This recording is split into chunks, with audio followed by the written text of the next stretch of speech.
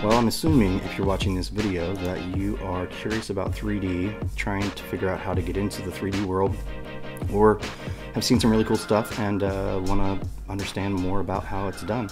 Um, basically, I wanted to make a tutorial for people that are trying to get up and running with Cinema 4D.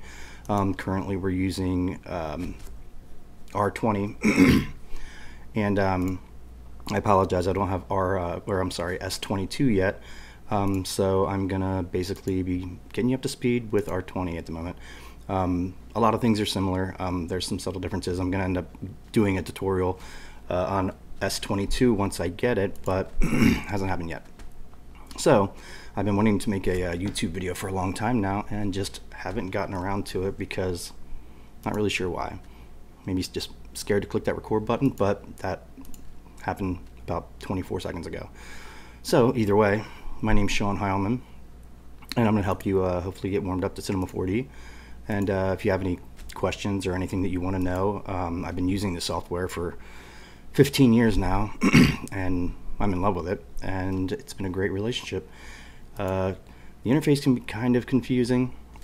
Um, I think it's a probably the most intuitive 3D uh, software out there um, to learn from what I've seen between Maya and 3ds Max and all that good stuff. Um, this definitely is the easiest to understand and the easiest to pick up in my opinion. I'm not a Maya user, I'm not a 3ds Max user, but I have been in them.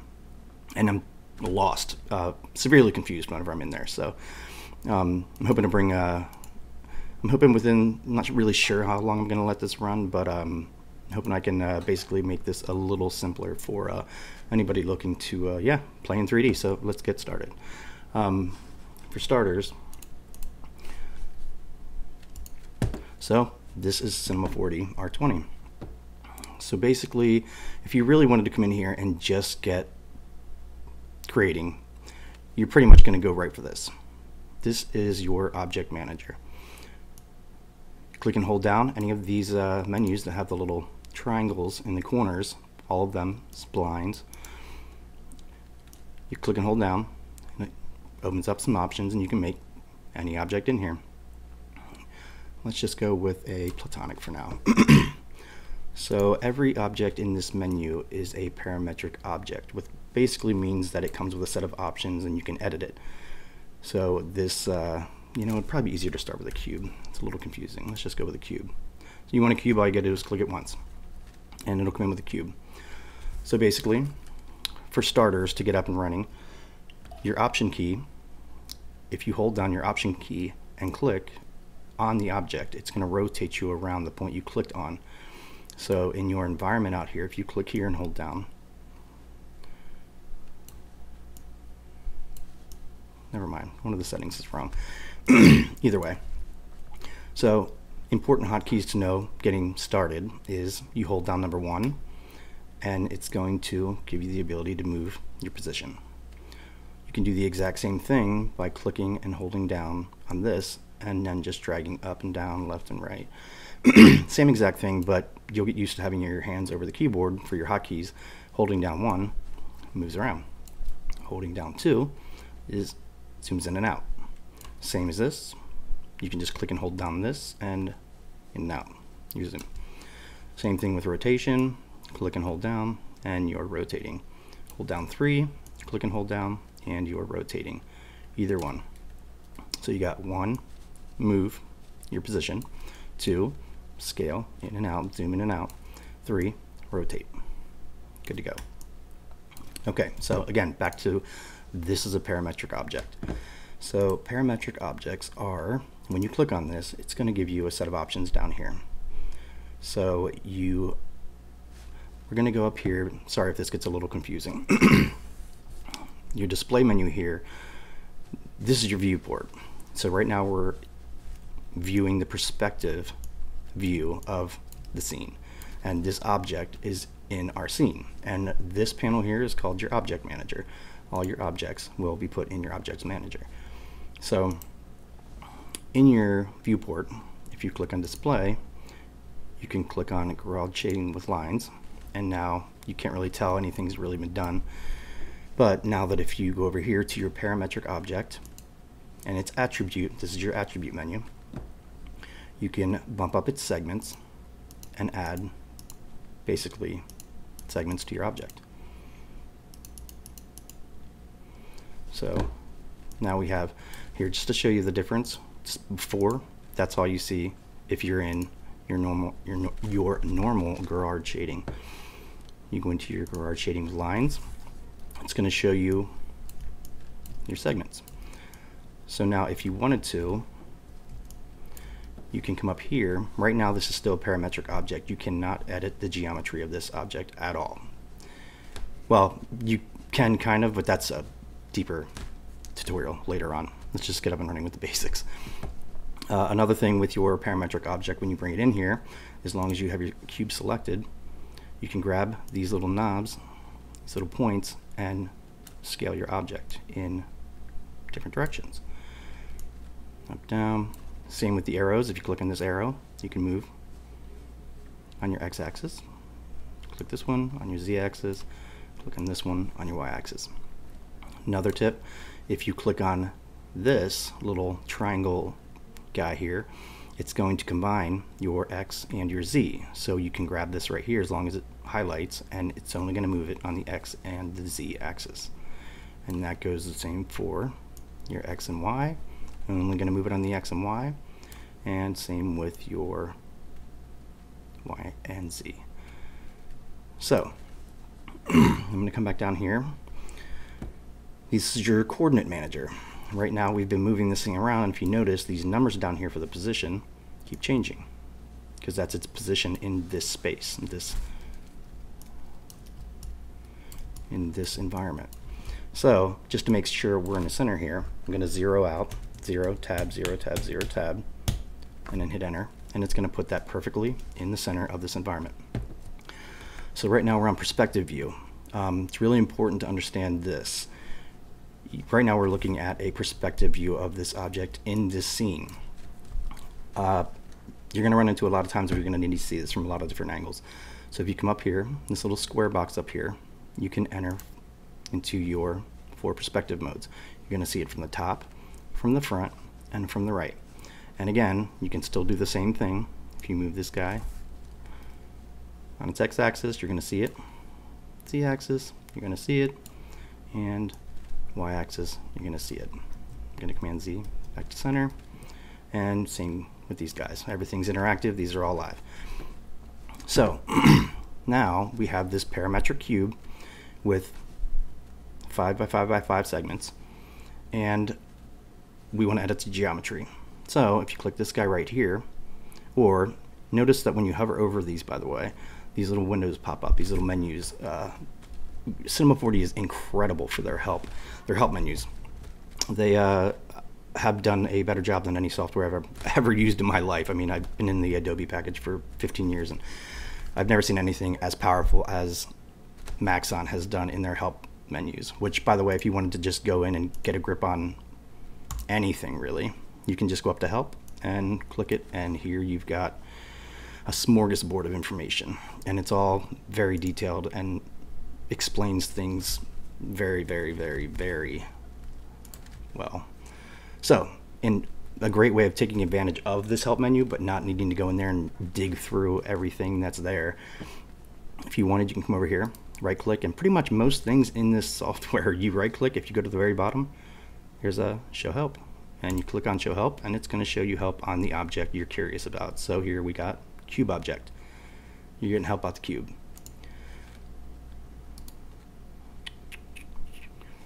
So, okay, so for the basics we have here are, again, objects that you can create right from the start. Pretty much most of these, there's some more, but just to not overcomplicate things, which I feel like I already kind of do just because I kind of forget what it's like to not ever have been in this software, so please, I apologize if I'm kind of all over the place because I'm used to flying all over the software really fast. So um, yeah, it's a bit of a challenge to back it up and just go back to uh, the basics. But I really want to see you guys out there get a grip on the software and once you get past that learning curve it gets so fun i mean you'll have so much you'll enjoy using this program so much it's such a good time Um, I can't believe they pay people to do this. Um, the whole, you know, do what you love, love what you do. Um, cheers to being able to make a career out of loving doing something this much because this is like Candyland here. So, uh, and this is nothing. It gets uh, way more fun.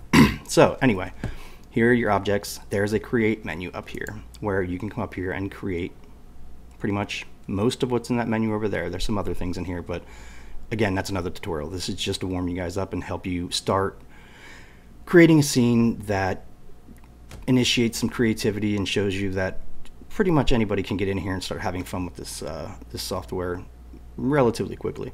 Um, so yeah, anyway, moving on.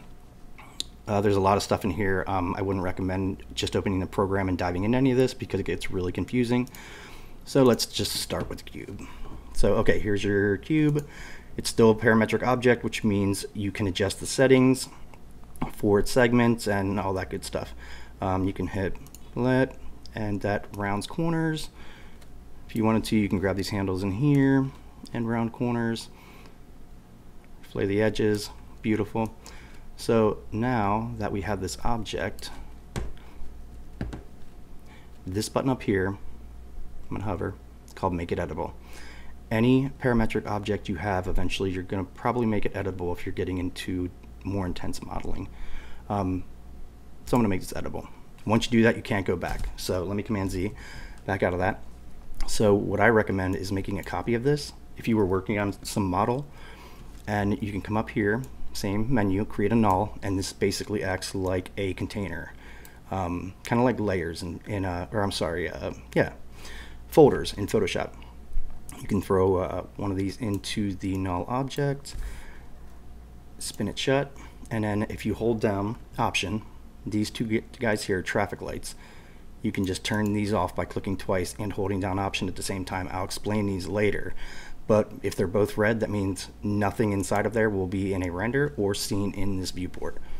So if I move this, you'll see that you can't see anything. But if I turn these back to gray, there it is. So I'm hiding that. So we always have an original to go back to, um, just in case we do something stupid to this and wanted to go back. Okay, so now we're going to go up here and click Editable. Shortcut is Command C, as you can see right there in that flyout menu. Command C makes it editable. Now we can come down here and here is your polygon tool. So if you click on that, you're going to get an interactive experience with your cube. So if you come up here, this is your selection tool.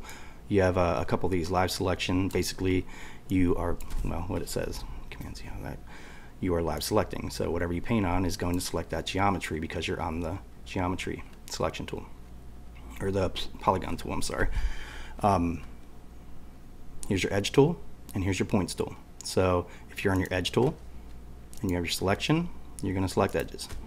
If you're on your points tool and you're on your live selection, you're going to select points. So basically if you select them just like the tool before, you can push and pull and good stuff. So anyway, before this tutorial turns into a 10 hour tutorial, which I could talk for days about this, uh, I'm trying to keep it simple. So let me go back and get rid of this. This is how you can come in here and play with geometry with any object after making it editable using your polygons, edges, or points. So I'm going to delete this and go back to just that simple cube. And get rid of that too. So the cube down here, we have your materials manager. So if you come down here and you double click right in manager, or you can go to create some of this stuff is going to be in yours because I use Arnold and some other uh, renders. So um, I apologize if anything doesn't look exactly like yours when you uh, download it for the first time. But uh, basically, hitting new material, you're going to get the exact same thing as double clicking here in the gray. So I'm just going to delete these guys and open this up. So here are your material attributes. Up here is your basic color. You can come in here and adjust your color. Let's make it blue. And if you wanted to make it illuminate with luminance, you can turn that on and adjust these settings. We're going to keep this super basic because I will start talking too deep about some of these. Transparency obviously makes it clear. You lower it, gets less more opaque, more transparent when you fill it. You turn that on, that's fun to play with. Reflectance is what it sounds, makes it reflect. And if you wanted to apply material to this, you can just grab this, drag it up here, and drop it. I'm going to Command Z to get out of that and show you another way. You can pull this from here up to here and drop it right on your cube. Another good tip if you wanted to, let's say for example, we're going to make this editable again. Here I go all over the place, I apologize. Command C or click make editable. I'm going to Command C because I'm a key freak. Um, select a couple of these and if you created a new material and drag that onto here, it's going to assign it to just that area where you have it selected. Again, this is getting deeper than I want to for my first tutorial about this ever, but it creates a thing called a selection tag, which assigns this material to only this portion of the object. And that's a very powerful, we're gonna get deeper into that later. Um, again, I'm not trying to get too crazy. Uh, these menus up here, again, with the uh, move, rotate, and scale, or zoom, uh, if you click this, it's gonna make this full screen again. If you click it again, it's gonna go back into four click it again, back to full screen. Generally, I work in here the most unless I'm doing some uh, intense modeling or anything. Um, so yeah, so in here we have, again, here we have our objects, here we have splines, which that's another tutorial. Basically, these are paths that you can do a lot of really cool things with uh, in here. Um, basically, if you were in your top view, you can just draw paths and, you know, basically make shapes pretty quickly. Pretty awesome but we're not touching on that today. But just to show you that's what it is. So, but yeah, back to your cube. We're just going to get this thing looking like a normal scene just to start. So I'm going to come into here and create a floor. And so in here we have floor, sky, environment, foreground, background, a stage, which is pretty awesome, but we're not going to touch on that. Physical sky, uh, basically has physical sky settings for when you're rendering. Um, it actually acts like the real physical sky. Um, again, all other tutorials, but we're going to stick with just a floor for right now. So create a floor, and that's going to zero out the coordinates of the floor in this scene. So right now our cube is not on the floor. So we're going to come in here and we're going to grab our object mode. So when we have this selected and have our move tool selected, we can move this object. Uh, if you have this selected and you click out here, it's going to only allow you to scale. So you got to always make sure that if you want to move your tool, click and move tool. There's another shortcut. E is your shortcut for the move tool. Uh, R is for rotate. And T, that's right, T is for uh, scale. I don't really use those hotkeys as much as uh, some do. Um, a lot of times I just come up here and click. For some reason it's easier for me. but that doesn't mean you won't love using them. So if you can see here, this blue line is pretty much in indicating the zero uh, Y value in this scene. It's exactly where this uh, floor is sitting. You can see the center point is right on that line. So I'm going to grab this cube, pull it up, hold down shift so it kind of snaps and it's not going to work perfectly but there are other plugins that you can get to do this so I apologize, but we're just going to sit this down roughly and go from there. That's, again, all other tutorials. This software is amazing. There's a lot to it, and uh, it, it can get confusing, but again, it's super easy to learn once you get the general gist of this interface. I mean, yeah, it's easy. So right now, again, this is our object panel. Here, I'm going to select an object. This is our attribute panel, which shows you the attributes for this object, what you have selected. There's our floor, changes. There's our cube, changes. We're gonna go to our floor. We're gonna create, uh, here, here's another really good thing for uh, beginners just to get some eye candy out there so uh, you see how powerful this can be. If you, if you go to window, go down and select content browser, you're gonna get this incredible built-in library of Sorry, there's a bunch of other stuff in here because of uh, things that I use, but when you first open this, it's going to look like this. So if you open your presets, and in S22, I've already been in there and, and, looked around, and it's a little different, but basically the same gist. Open up your presets and start digging around and looking for libraries. So coming in here, let's just go down here to something like visualize. You have materials in here. You can come into visualize and let's say Here you can just click on these. It'll show you uh, the previews for them over here as you click on them. For our floor, let's just do like a, uh, um, how about wood? Let's just do some wood. Wood always looks uh, sexy, so we're gonna throw a wood floor parquet in here. I'm gonna grab the, the material or the texture in the materials manager. I'm gonna drag it up here to the floor and apply it. And there we now have a floor. So last thing, so I don't, again, make this run a half an hour, come over here and here are your lights. So if you click on that once, you're gonna create a light and you can see it's interacting XYZ coordinates. Come up here and position it somewhere. Here you can come in here and kind of get a better sense. Again, I'm using two to back up here, two to back up, holding down two and moving my mouse left to right, holding down two here, zooming out, getting a better, uh, okay, another uh, really helpful tip if you are in any viewport really, but especially here, uh, I do this a lot. Um, if you have your cube selected or any object for that matter, select that object, you can hover over this viewport. All you have to do is be over, over top of it. Um, hover over your viewport and hit the S key, and it's going to center whatever you have selected. So hovering S, let's go to the floor, and I'm gonna hover S. So now the floor, it's centered. Well, the floor doesn't have any boundaries because it kind of goes into infinity, so that's kind of a bad example. But back to the cube, S, and it's that easy to center up. Again, holding down two, I'm just going to click and drag to back it out, back it out, back it out. And now I have my light here, and you can grab here is your your Z and X coordinates that you can move your light. You're going to see it moving in the perspective view over here, and it labels them right here in perspective, top, front, and right. You can change these actually. So if you come into display, I'm sorry, cameras, right here you have your options. So right now we're on right, we could go to left. I prefer to be on right because I'm used to it being on right, but you can full flexibility how you want to view these scenes. So in your light, you can come in here and just turn this on to area. Sorry, not area. Let's just go back to Omni.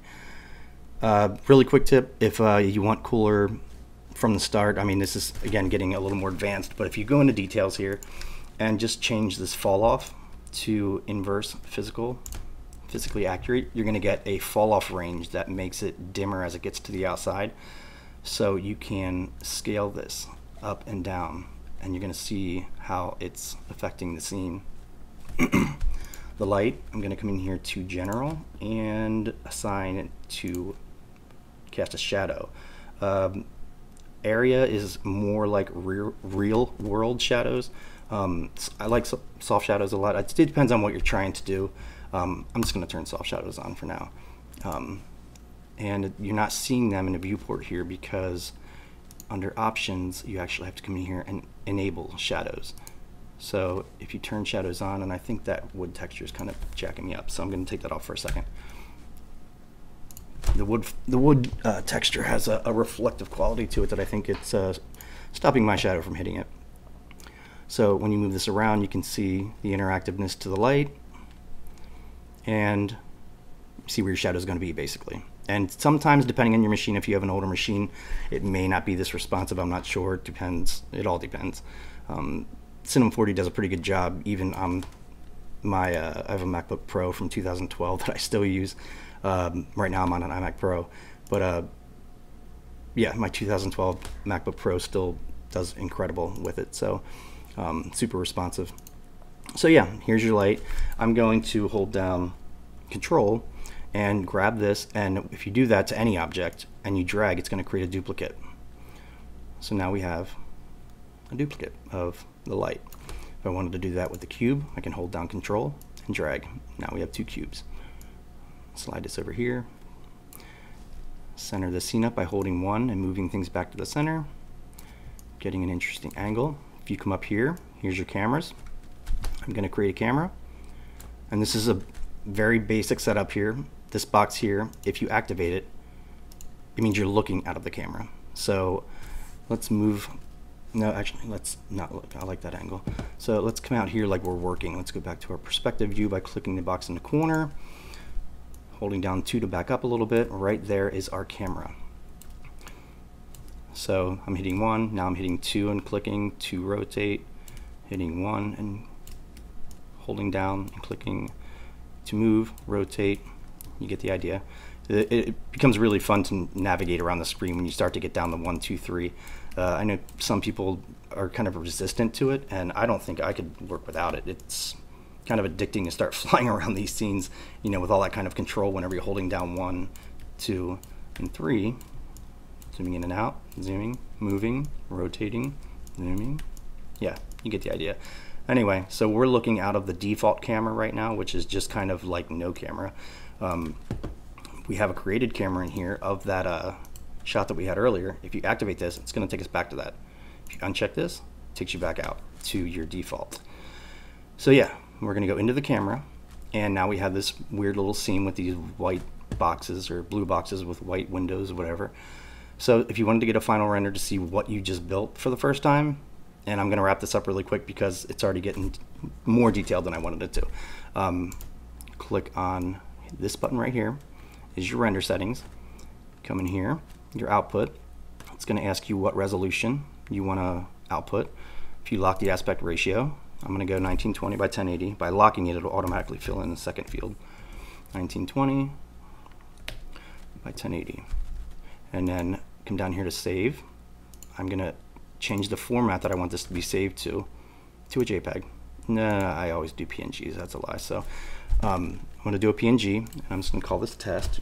You know what, let's go in here. If you click the three dots here, if you click these three dots, honestly, this across the board, this goes uh, a lot of menus over here in your attribute manager. You're gonna see this if you're assigning a texture, uh, any anything like that.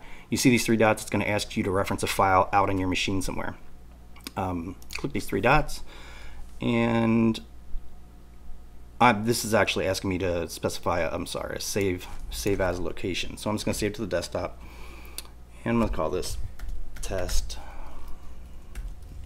one.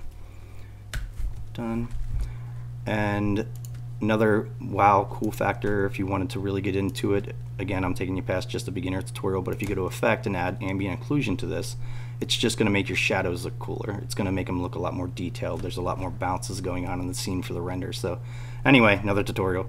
Uh, close that window and you can come out here and just click this button and it's going to initiate your render.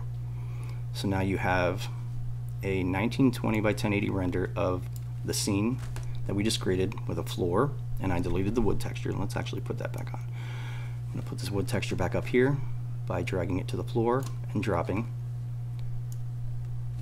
Here's our scene. Wood floor, blue and white boxes. Render settings 1920 by 1080, saving as to the desktop. We added two lights that have a fall off from the center point. And I'm going to click render. I'm going to overwrite the other one, yes. And there we go. Our lights aren't very intense in this scene, so I could always come up here and highlight both of them and you know in another easier way. Let me close this. I'm gonna come out of the camera, go back to the top view, back this up. If you click this in any of these windows, it's gonna make it full screen. So your viewport will, I'm gonna grab that light and just make it bigger. And I'm going to grab this light and just grab these little points here and make it bigger and smaller, whatever you want. And you know what, maybe I'll move this out here a little bit. Let me see all four viewports. Going to drag this out a little bit. Grab this light. Grab just this out a little bit. Yeah. You can also just grab these to go in one direction. That helps a lot too. Okay, so let's pull this up and do a render. I'm going to overwrite that one too. Uh, I'm not on my camera. Again, what we're seeing here is activating my camera to go back into it and then hitting render again. I'm going to overwrite that again. And there we have it. You have the wood floor, which it's kind of dark in this scene, but you get the general idea of messing with the lights and messing with the textures and all that good stuff. So yeah, fun stuff going into here, content browser, look through your materials. There's some really cool stuff in here. Liquid, leather, concrete, bricks, asphalt, stone, tiles, walls, wood, leather. Yeah, there's a lot of good stuff in here. Um, if you look around in here, you can get lost in here, honestly, because there's 3D objects. Let's just fly this open. Appliances, bath, bedrooms. I mean, other, it's crazy the amount of stuff that you can find in here. But just playing around, let me close this. Just playing around. Come in, create some create some objects, some parametric objects, and play with them. Um, if you wanted to uh, get crazy, and you make a parametric object, remember to uh, adjust your segments if you want more geometry. Uh, come over here, make it editable with the Make It Editable button, which is hotkey C. And you can come into the polygon tool, stretch and push and all that good stuff, and add a light from your light menu in here. In that light, if you want a little flexibility, go to details, make it inverse, square, physically accurate, and then scale it all you want. And your floor is right here. Skies, play with all that stuff. And don't forget to make a camera and keep this checked once you get your shot lined up. And you know what, we're just cutting it off for here because I've already been rambling too much in too many different areas. And yeah, if you guys have any questions about anything, this is my first tutorial. Um, I just wanted to get one out the door so I could just say I got one out the door, honestly. Um, I am going to start uh, homing in on more specific tutorials, uh, more specific directions and workflows, and yeah, getting into the tools and more complicated features. And but I'm looking to have a whole playlist for uh, beginner tutorials. So please, anybody, um, if you like this video, like and subscribe. Um, comment below if you have something that you are a beginner and you have another 3D software that you're trying to learn, you don't like Cinema 4D for any reason, or there you do like Cinema but it's confusing, and there's any tools that you want me to kind of go over, general go over, uh, you know, not too crazy for a beginner tutorial, or maybe something more advanced that you want me to touch on. Um, either way, I'm going to be loading up on tutorials over the next uh, few weeks and starting to get on a schedule as I get a little more comfortable with, uh, yeah, this uh, tutorial workflow. So yeah, uh, happy to be on YouTube good to see you guys. Thanks for uh, watching, and uh, yeah, everybody uh, stay safe, and I'll see you soon. Bye.